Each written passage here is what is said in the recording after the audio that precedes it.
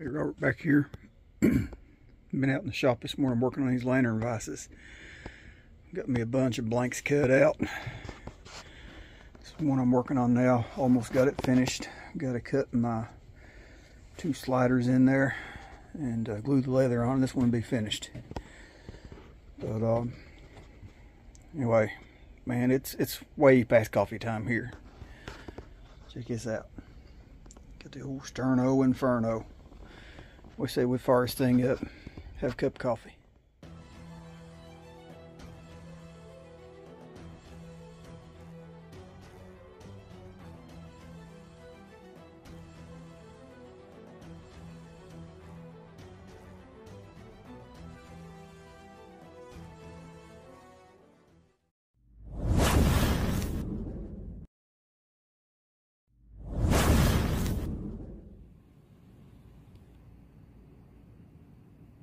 Probably getting tired of seeing me making coffee in my shop, but you know what? If I'm not working, I'm in my shop, still working. But uh, anyway, I bought one of these Sterno Infernos years ago. Bought it new. If I'm not mistaken, I give it away because it disappeared. I think I give it away. I'm, I think I remember giving it away at one of the spring meets. Never did use it, but man, I, I kept thinking about that thing, thinking about that thing. I've been watching for them on eBay, but usually they're untouchable when you can find them. But I think I found this one on Etsy at a reasonable price. It had never been used. So, uh, hey, let's fire this thing up. All right, I've already got water in my cup. Good enough for a big cup. I got 20 ounces in there. Or stamped from the inside. It's not 20 ounces, it's uh, 16 ounces. So, uh, this thing's not going to be the fastest in the world. And I don't have any of the new Sterno, but I do have one of my old antique cans. I use my antique burner. It was about dried up, so I poured a little alcohol, denatured alcohol in there and stirred it up and mixed it in with the gel it would still burn. It just didn't burn real hot. I think with this uh, alcohol in there, it'll burn a little hotter. I'm guessing about a 10 minute boil time from a sterno in this thing, but we'll see.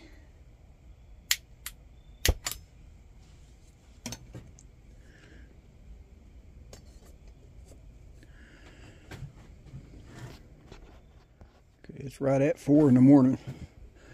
Kind of funny how I crave coffee at four in the morning every morning. No matter in the shop, it, it just hits me all at once. Gotta have coffee. So we'll get back with you when we get a bowl. Okay, I dug my coffee out of my camper, my beans, but uh, since I already have this Folgers out here that pre-ground for the percolator, let's go ahead and use it up.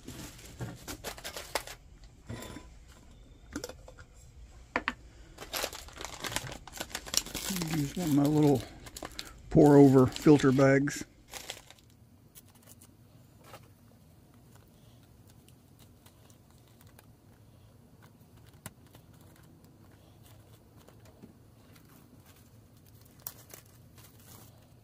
Pour this in here without making.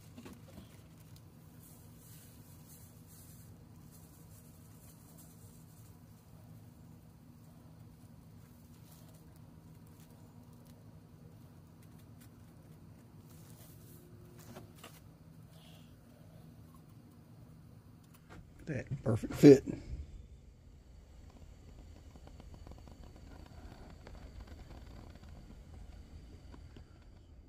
Okay, my scroll saw is about shot. I'm not dragging it out. Not worth it. I'm just going to chisel out these uh, sliders.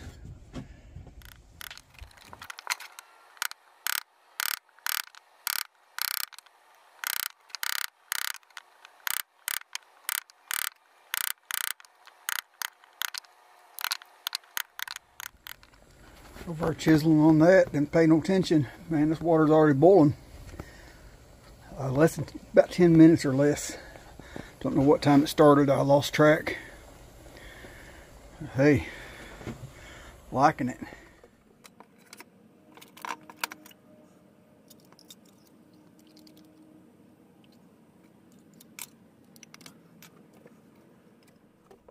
It says on here remove the lid before pouring. Thought the little holes there in the lid were made for pouring, but says not to, so I guess it can't handle the hot water. So we'll not try it. Man, it's going to be some good Folgers.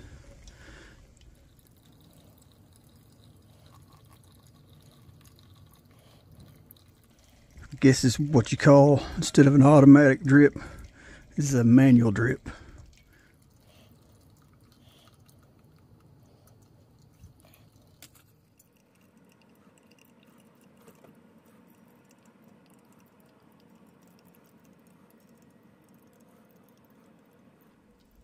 When that coffee foams like it, you know it's good.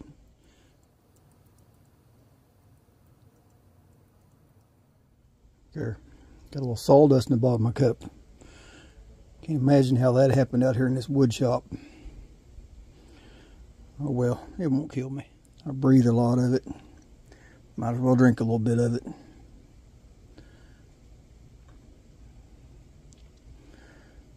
I suppose this filter will catch it too. You can't go through them coffee beans in the filter.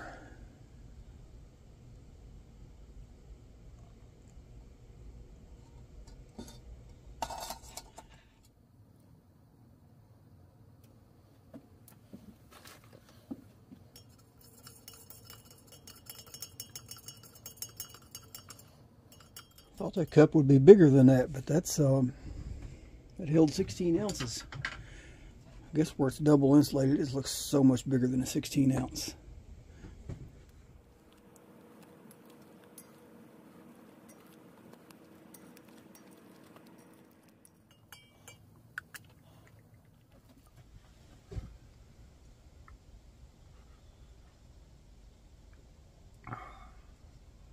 Man, that is good. It's going to hit the spot not real cold out, but it's damp out. I'm wearing a short sleeve shirt, but it's, it's a little bit cool.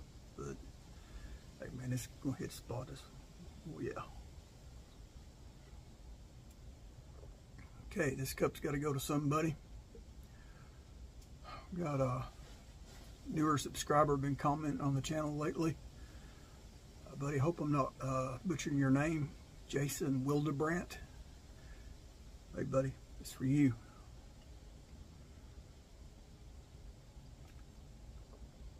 Okay, y'all know the routine. Like, share, subscribe. God bless. I gotta get back to work on this vise. Yeah, that's almost looking professional.